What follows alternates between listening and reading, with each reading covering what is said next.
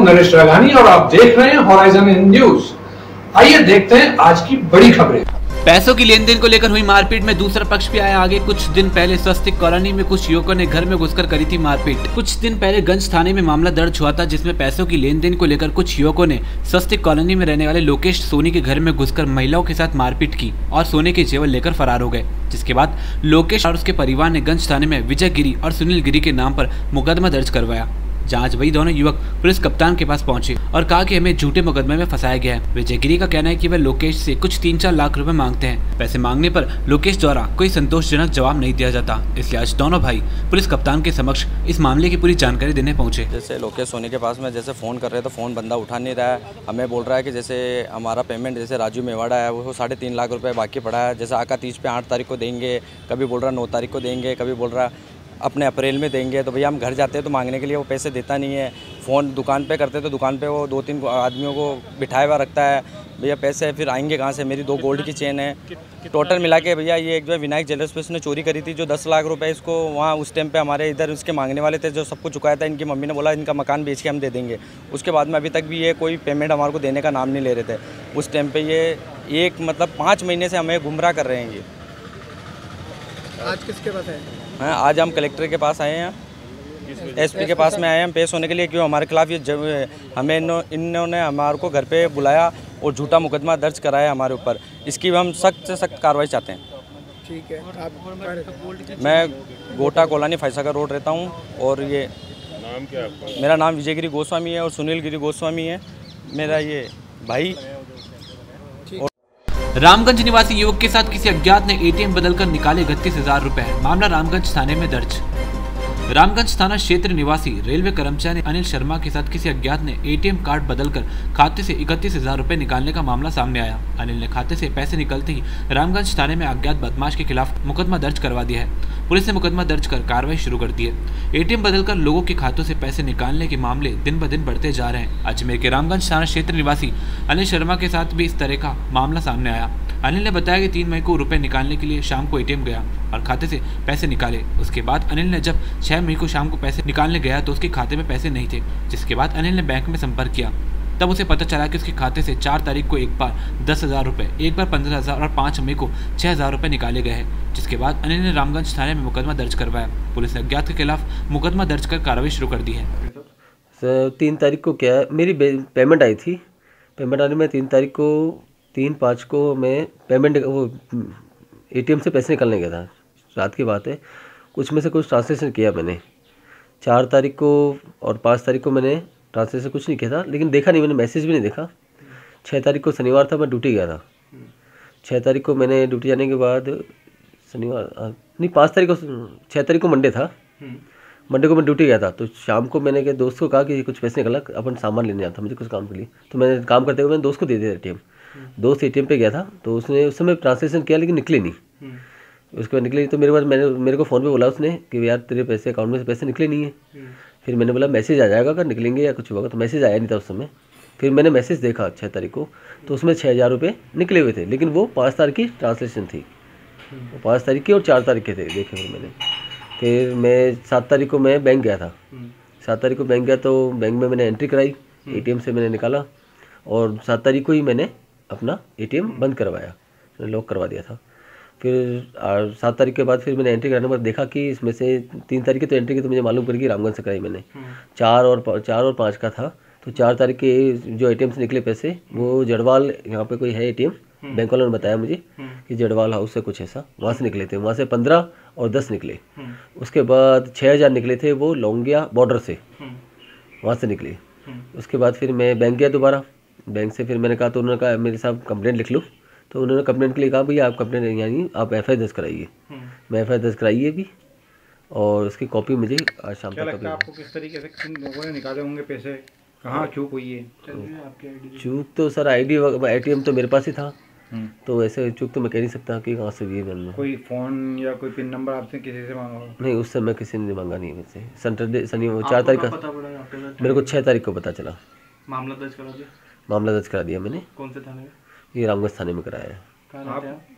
मैं न्यू गोविंद नगर में रहता हूँ। अच्छा आप ये बताएँ कि आप कार्य में काम करते हैं? मैं रेलवे सर्वेंट हूँ। Railway servant. रेलवे में किस पोस्ट पे? मैं टेक्नीशियन हूँ लोको वर्कशॉप में। डेलीगेट स्थित सिकंदर दूध डेयरी पर हुई पच्चीस हज़ार की चोरी मामला गंज थाने में दर्ज पुलिस जुटी जाँच में। कल देर रात डेलीगेट स्थित सिकंदर दूध की डेयरी पर किसी अज्ञात चोर ने चोरी की वारदात को अंजाम देते हुए डेयरी से पच्चीस हज़ार रुपए का कैश को चोरी कर लिया। दुकान मालिक जब सुबह दुकान खोलने पहुँचा तो उसे दुकान के ताले टूटे हुए मिले। जब उसने गले में देखा तो कैश भी गायब था। इस मामले की रिपोर्ट गंज थाने में दे दी गई है जहाँ से पुलिस जाँच कर रही है। रात को इस दुकान से पच्चीस हज़ार रुपये चोरी हो गए। पंद्रह हज़ार तो डेयरी का केस था दस हज़ार रुपये गले में रखे हुए थे। और रात को ताला ताला तो टूटा नहीं कुंदी तोड़ के जो है सरिये से वो लेके चला गया पच्चीस हज़ार रुपये। ये दिल्ली गेट लोंगिया रोड है सिकंदर दूध डेयरी। हमने वैसे गंज थाने के अंदर रिपोर्ट लिखा दी है वैसे इसकी। क्या? है जी? पुलिस अभी आके गई है। पुलिस देख के गई है अभी। और अभी कोई अज्ञात चोर था जो रात को यहाँ से पच्चीस हज़ार रुपये निकाल के ले गया। पता चला? रात को दो ढाई बजे तक तो मैं जग रहा था और तीन और चार के बीच में एक ये हुआ है। तुम्हें कब पता चला? हम सुबह जब दुकान खोलने आए सात बजे तो ताला टूटा हुआ था और गले के अंदर पैसे नहीं थे। और कागजात वगैरह पूरे बिखेर दिए उसने। और उसके अंदर भी उसको कुछ नहीं मिला। पच्चीस हज़ार रुपये से जेरी का केस रखा हुआ था वो ले गया वो। अधिवक्ता पंकज को वोडाफोन कंपनी का बिल न भरने पर मिली मुकदमे की धमकी।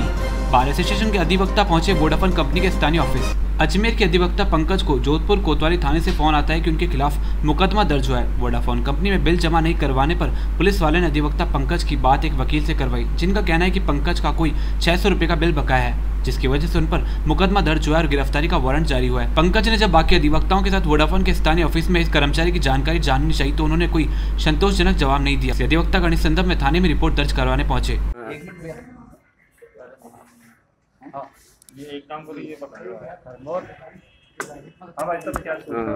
आज करीब दोपहर को 12 बजे के आसपास मुझे एक फ़ोन आया और उसने जो फ़ोन करने वाले थे, उन्होंने बताया कि हम जोधपुर कोतवाली थाना पुलिस से राजेंद्र सिंह बोल रहा हूँ और आपके खिलाफ यहाँ मुकदमा दर्ज हुआ है।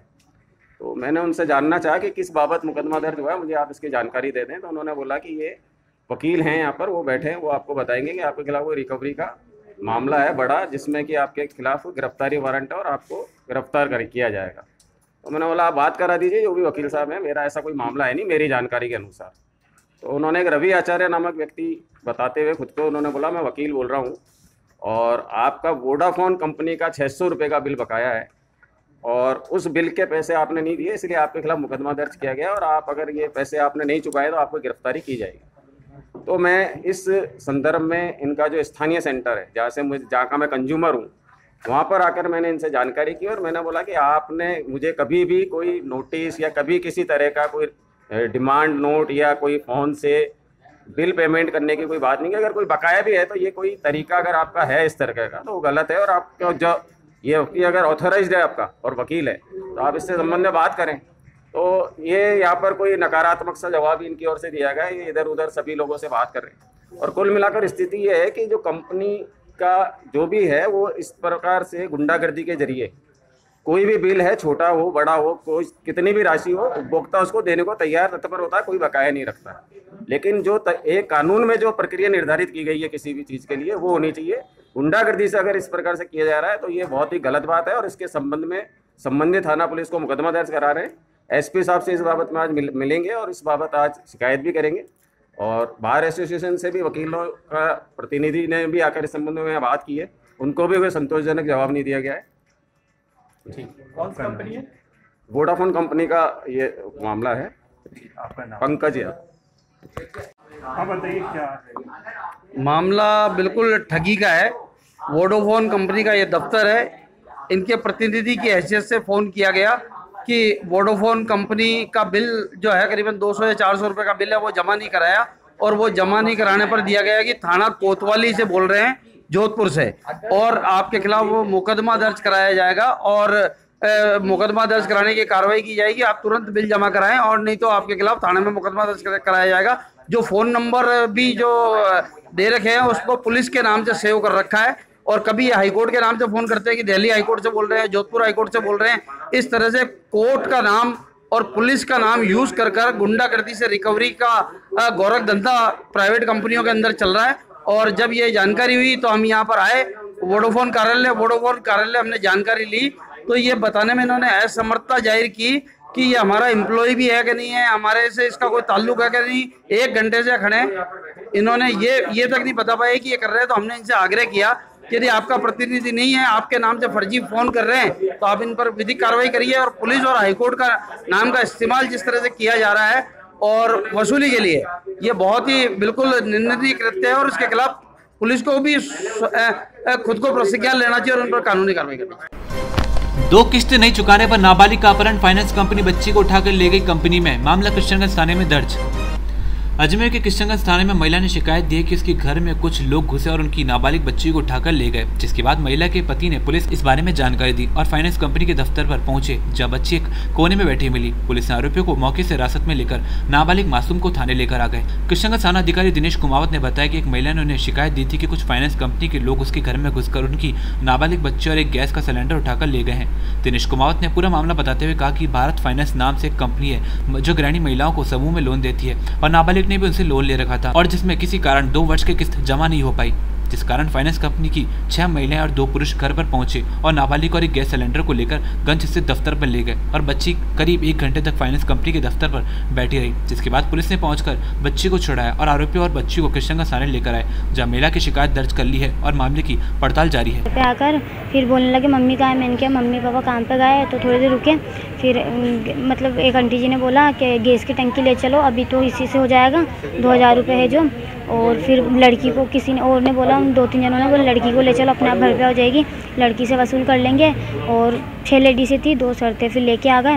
फिर यहाँ घर पे लाके बिठा दिया बोले ये आ गई अब इसके मम्मी पापा तो अपने आप आ जाएँगे पैसे देने के लिए। कौन लोग थे काय के लिए आए थे? लोन के पैसों के लिए। कितने लोग आए थे घर में? अम, छः लेडीज़ थी दो सर थे। नाम जानते हैं नहीं किसी का एक का सीमा था और सर का कुछ अजीब सा था ध्यान नहीं है तो मतलब कितने रुपए का लोन ले रखा था कुछ जानकारी?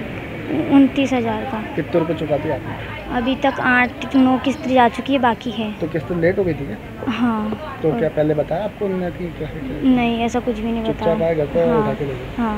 पुलिस ने मुकदमा शिकायत दी आपने पुलिस हाँ अभी। अब यहाँ कैसे पहुँचे थाने आप? मैं इन लेडीज़ों के घर पे थी फिर पापा को पता पड़ा तो पापा थाने में से किसी को लेकर आए फिर मुझे यहाँ लेकर आए। इमरजेंसी वार्ड के पास मिला नवजात शिशु। हॉस्पिटल स्टाफ ने रखवाया शिशु वार्ड में। पुलिस जुटी शिशु के परिजनों की तलाश में। इमरजेंसी वार्ड के पास एक नवजात शिशु लावारिस हालत में मिला। वार्ड के पास ही कुछ लोगों ने हॉस्पिटल स्टाफ को बच्चे के रोने की जानकारी दी। हॉस्पिटल स्टाफ ने बच्चे को शिशु वार्ड में रखवाया, जहाँ पर बच्चे का स्वास्थ्य चेक किया गया। बच्चा फ़िलहाल ठीक है, अस्पताल प्रशासन ने थाने में रिपोर्ट दर्ज करवा दी है, जहाँ से पुलिस इस बच्चे के परिजनों को खोजने में जुटी है। हाँ सर, किस तरीके बच्चा मिला था? कहाँ से, क्या सूचना?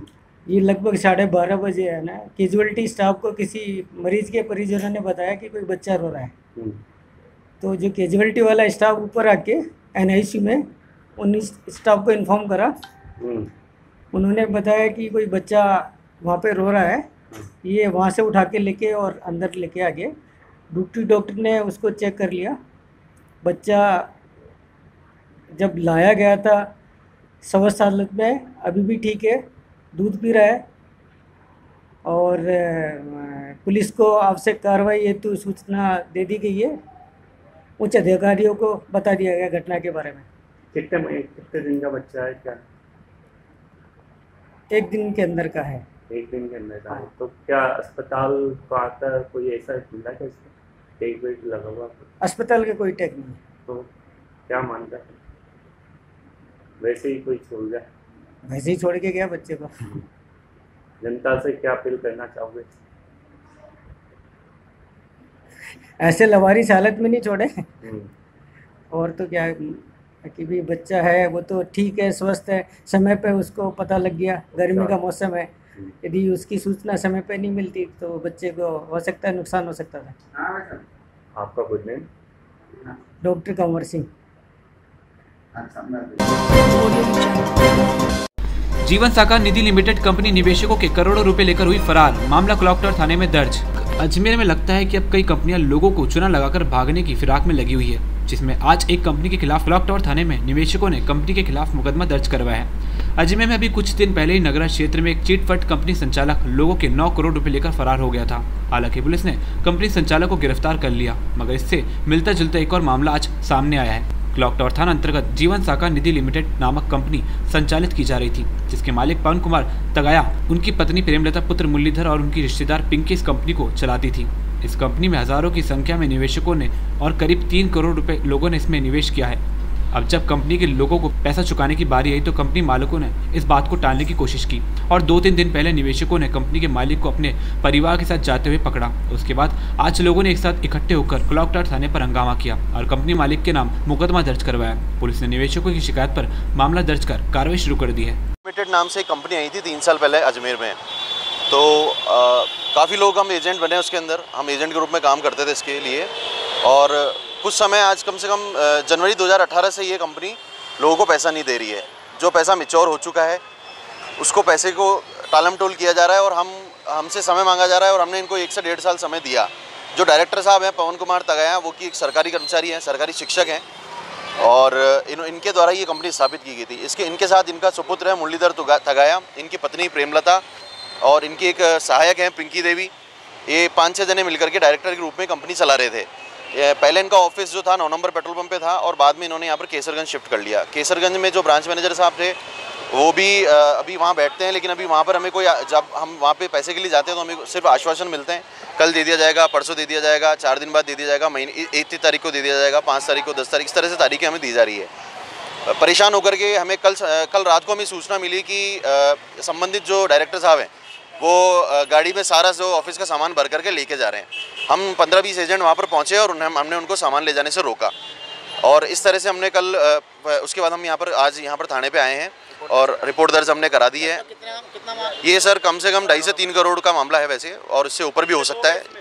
इसमें सर हमसे कम से कम वैसे तो हमारी जो पार्टियाँ हज़ारों के रूप में जुड़ी हुई है। हज़ारों निवेशक हैं मतलब। हज़ारों निवेशक हैं। उसके अलावा जो एजेंट हैं हम लोग हैं ही वो सब। उसका नाम क्या है? है जी? संचालक का नाम क्या संचालक जी का नाम है पवन कुमार तगाया। जी मुकदमा दर्ज करा दिया। मेरा नाम प्रवीण कुमार। साकार नामक कंपनी संचालित की जा रही थी पिंकी देवी पवन तकाया और दो तीन अन्य लोगों के द्वारा। और यहाँ से इन लोगों ने करोड़ों रुपए इकट्ठे कर लिए। और ये लोग, पीड़ित लोग जब मेरे पास आए तो उन्होंने बताया कि भाई हमारे पैसे ये वापस लौटा नहीं रहा था। मैंने इनसे संपर्क किया, चार पाँच पाँच बार छः बार, सात सात बार संपर्क किया। दे दूँगा दे दूँगा, लेकिन अभी आज दिन आज तक नहीं दिए इनकी छः महीने, साल भर पहले एसपी को भी कंप्लेंट की थी। वहाँ से भी इनके खिलाफ रिपोर्ट हुई थी, लेकिन क्या हुआ, इसने स्टाम्प, पाँच सौ रुपये स्टाम्प में लिखा गया मैं सबको पैसे दे दूँगा। लेकिन आज दिनाक तक इसने पैसे नहीं दिए। कल दिनाक ये लोग बाग गए थे, उसके वहाँ पर ऑफ़िस में तो वो सामान लेके भाग रहा था। तो इस दौरान ये लोग आए तो आज इसकी कंप्लेंट कलेक्टर थाने में करवा रहे हैं। और मैं पुलिस प्रशासन से निवेदन करता हूँ कि इस प्रकार की कई कंपनियाँ चलती है उन पर भी जाँच करें उन पर भी रोक लगाएँ ताकि ऐसे गरीब मजदूर लोग बसे नहीं उनके पैसे लूटने से बच जाए। क्या नाम है कंपनी का? कंपनी का नाम है जीवन निधि साकार लिमिटेड। करीबन कितना पैसा करोड़ों का मामला है ये करोड़ों का मामला है कितने जने हैं इसमें? इसमें का हज़ारों लोग पीड़ित हैं।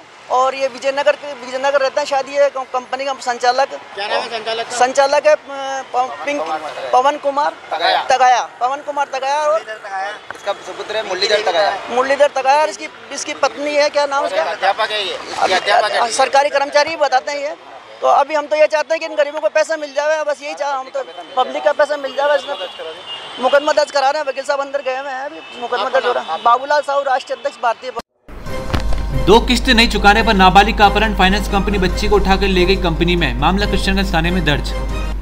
अजमेर के किशनगंज थाने में महिला ने शिकायत दी है कि उसके घर में कुछ लोग घुसे और उनकी नाबालिग बच्ची को उठाकर ले गए, जिसके बाद महिला के पति ने पुलिस इस बारे में जानकारी दी और फाइनेंस कंपनी के दफ्तर पर पहुँचे, जब बच्ची एक कोने में बैठी मिली। पुलिस ने आरोपियों को मौके से हिरासत में लेकर नाबालिग मासूम को थाने लेकर आ गए। किशनगंज थाना अधिकारी दिनेश कुमावत ने बताया की एक महिला ने उन्हें शिकायत दी थी कि कुछ फाइनेंस कंपनी के लोग उसके घर में घुसकर उनकी नाबालिग बच्ची और एक गैस का सिलेंडर उठाकर ले गए हैं। दिनेश कुमावत ने पूरा मामला बताते हुए कहा कि भारत फाइनेंस नाम से एक कंपनी है, जो ग्रहणी महिलाओं को समूह में लोन देती है और नाबालिग ने भी उनसे लोन ले रखा था और जिसमें किसी कारण दो वर्ष की किस्त जमा नहीं हो पाई।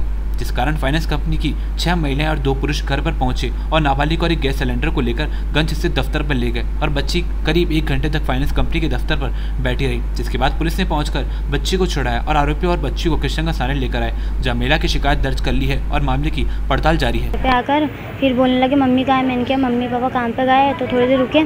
फिर मतलब एक आंटी जी ने बोला कि, गैस की टंकी ले चलो, अभी तो इसी से हो जाएगा, दो हज़ार है जो। और फिर लड़की को किसी ने, और ने बोला उन दो तीन जनों ने बोला लड़की को ले चलो अपने आप घर पे हो जाएगी। लड़की से वसूल कर लेंगे और छः लेडी से थी दो सर थे फिर लेके आ गए।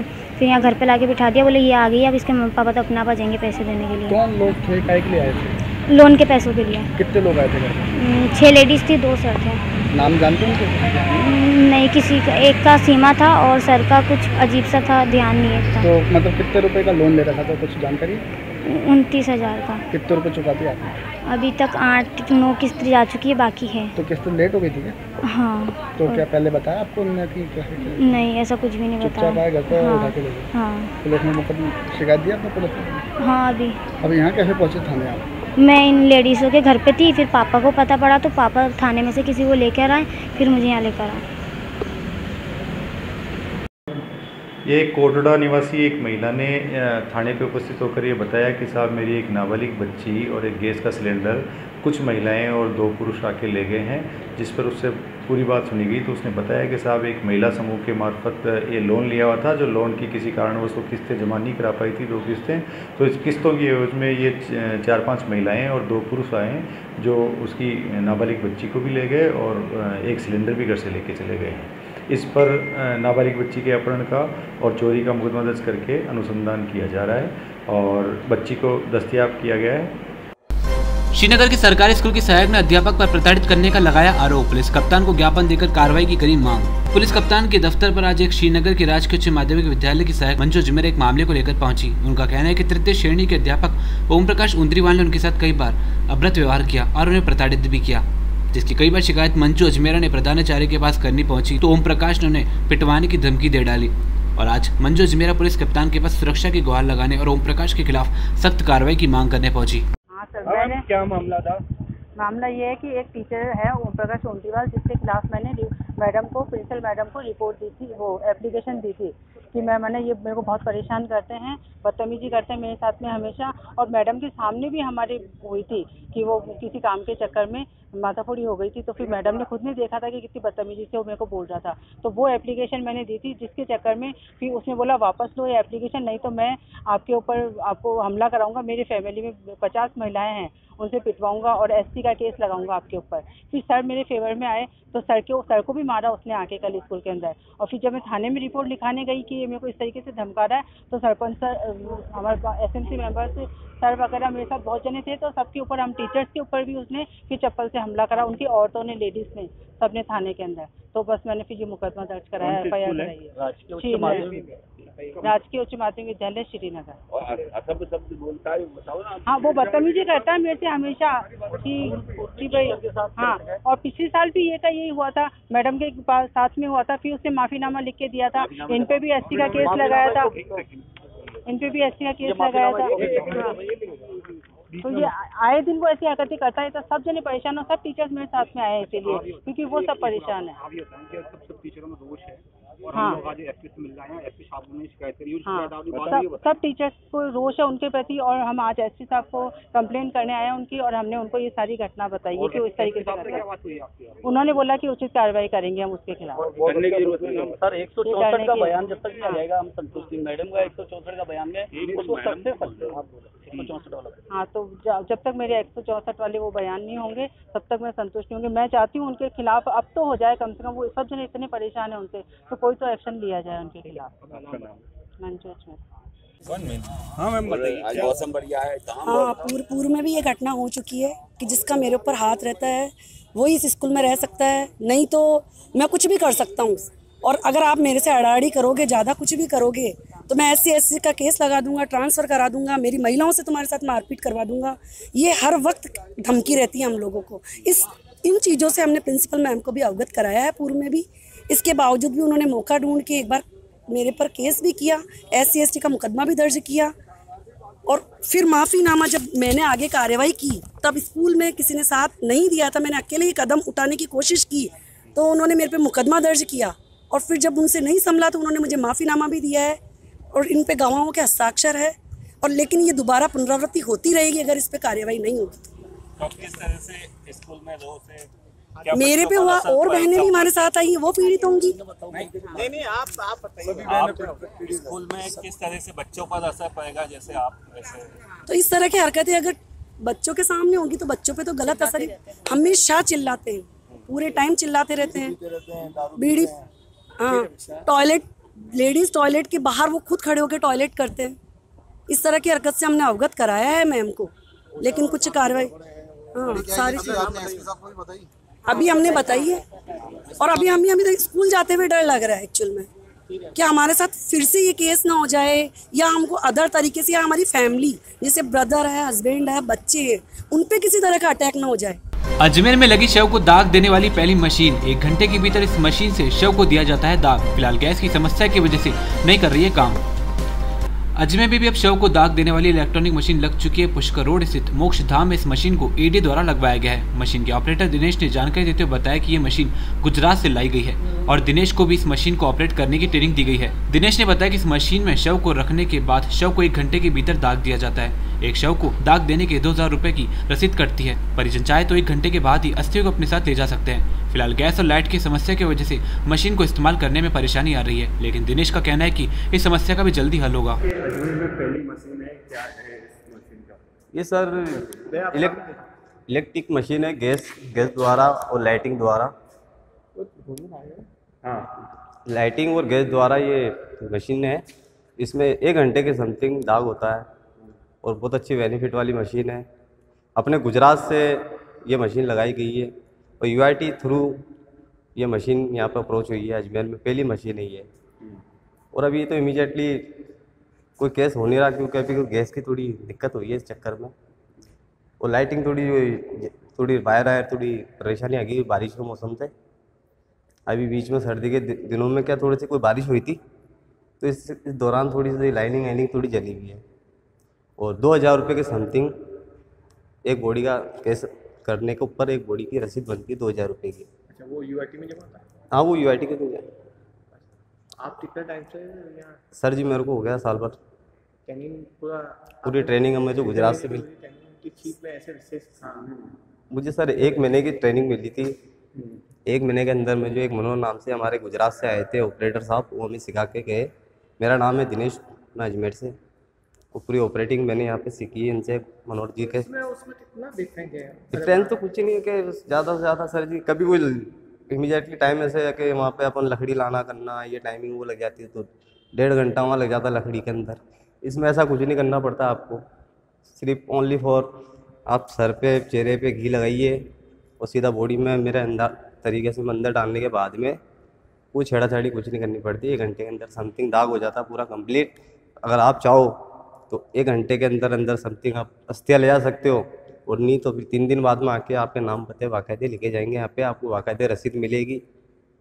और मेरे बाकायदे साइन वगैरह होंगे।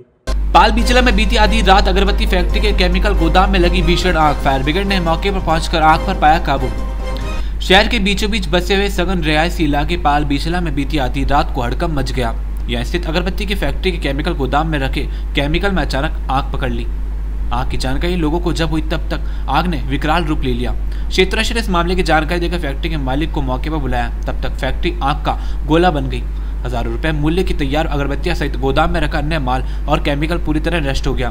वहीं अज्ञात कारणों के चलते लगी आग में चर्चा का विषय बन गया। मौके पर जमा हुई क्षेत्रस्थ ने अग्निशमन विभाग की दमकल गाड़ियों की मदद से आग पर काबू पाया। श्रीनगर रोड के सामने पाल बिस्ला, कंचन नगरी हरिजन बस्ती के पास में एक अगरबत्ती की फैक्ट्री लगी हुई थी। उसमें एक भीषण आग लग गई थी।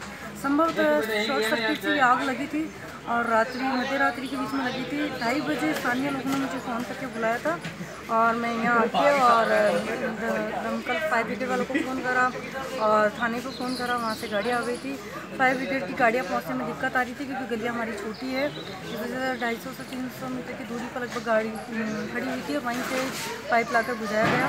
और स्थानीय लोगों का लड़कों का सभी का सहयोग रहा है। कितने का नुकसान हुआ? लगभग सात आठ लाख रुपए का तो इनका माल का नुकसान हुआ। बाकी बिल्डिंग पूरी खत्म हो चुकी है इनकी। और दस बारह दमकल पाइप गिर के आ चुके हैं। और संतोष मौर्य वार्ड नंबर चौवालीस से। तेज बोलना तेज। बताओ। छोट छोट ये घटना श्रीनगर रोड पालवीसला कंचन नगरी की है। हम यहाँ के रेजिडेंस में और तेज बोल। रेजिडेंस सारा अगरबत्ती हमारे पास में है। वहाँ पे रात को करीबन डेढ़ बजे बहुत भीषण आग लगी, जिससे हमें बड़ी तकलीफ़ हुई। हम मोहल्ले वाले सब इकट्ठा हुए, फायर ब्रिगेड आने की समस्या थी। हमने फायर ब्रिगेड को दूसरे रास्ते से बुलाया और काफ़ी भीषण आग लगी है। काफ़ी बड़ी क्वांटिटी में केमिकल्स यहाँ पे था और हम मोहल्ले वालों को बड़ी तकलीफ़ हुई इस चीज़ से। और सबने मिलके बहुत मदद करी हमारी पार्षद महोदय उन्होंने बहुत मदद करी हमारी। पूरी रात वो यहीं पे मौजूद रही और सब जनों की सहूलियत से सब अच्छा से जलदा विभाग हाया के बीच पायलट जिंदाबाद के लगे नारे नागफणी के क्षेत्रवासियों ने किया प्रदर्शन। कांग्रेस नेताओं ने भी किया प्रदर्शन। अजमेर में बढ़ती जा रही पानी की किल्लत से परेशान लोग आए दिन प्रदर्शन कर रहे हैं। राज्य में कांग्रेस की सरकार होने के बावजूद आज खुद कांग्रेसियों ने भी प्रदर्शन किया। नागपुरी में पिछले काफ़ी समय से पानी नहीं आ रहा है। इसलिए आज क्षेत्र के लोग और शहर जिला कांग्रेस कमेटी के उपाध्यक्ष प्रताप यादव के साथ जलदा विभाग पहुँचे और शिकायत दी। प्रताप यादव ने कहा कि राज्य में हमारी सरकार है लेकिन उसका मतलब ये नहीं कि हम जनता के लिए नहीं लड़ेंगे बल्कि हर परिस्थिति में जनता के साथ खड़े रहेंगे। इसलिए आज जलदा विभाग के अधिकारी को शिकायत दी जिस पर अधिकारी ने सभी कांग्रेस नेताओं को और क्षेत्र के लोगों को आश्वासन दिया। सर और हमारे यहाँ पानी न, एक महीने से बिल्कुल पानी नहीं मिल रहा हम लोगों को। हम लोग इतने परेशान हैं और रमज़ान अलग चल रहे, टंकी पे कहते हैं तो कहते हैं, मैडम कहेगी तो हम खोलेंगे। मैडम को कहते हैं तो कहे, हम आ रहे हैं। रोज़ मतलब हमें यही ज्ञानबाजी कर रहे हैं और हम इतने पानी से परेशान हैं कि हम जाए तो कहाँ जाए। जब जाकर आज हमने परेशान होकर और प्रताप जी को फ़ोन किया और प्रताप जी हमारे साथ आए और आज हमारी सुनवाई हुई एक महीने से कोई हमारी नहीं सुन रहा। और हम लोग पानी से इतने परेशान हैं, आप आके देखिए, ये कौन सी सरकार है जो हमें पानी नहीं मिल रहा? क्यों हम वोट नहीं देते क्या? हमारा पानी पे अधिकार नहीं है क्या? क्यों नहीं देते लोग? और पूरा मोहल्ला परेशान है। नीचे की लाइन में इतना पानी है। वो रोडों पे ढोल रहे ऊपर इतना पानी दे रहे हैं। चार नंबर गली में इतना पानी दे रहे हैं। और गली नंबर एक लक्ष्मी मोहल्ला। और गदागाड़ी वहाँ एक बूंद पानी नहीं है। एक महीना हो गया नागपुर छोटी नागपुर एक महीने से परेशानी है। आज कहाँ पे आए हैं आज वाटर बॉक्स में एक्शन साहब ठीक है आपका परिचय।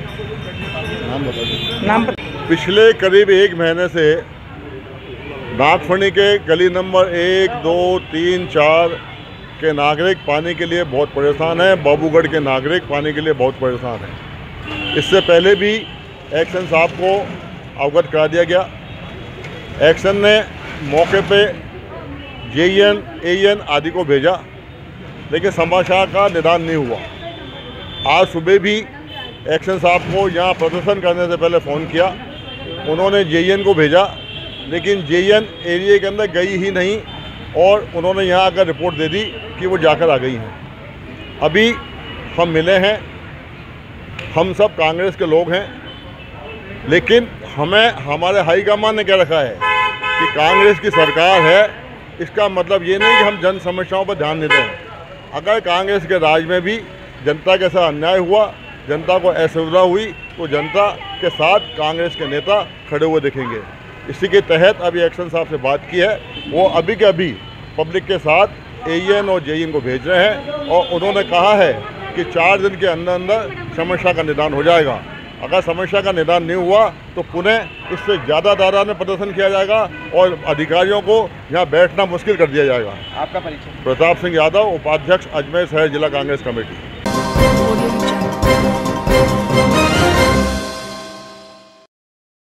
खबरें विस्तार से पढ़ने के लिए लॉग इन करें होराइजन सच के साथ।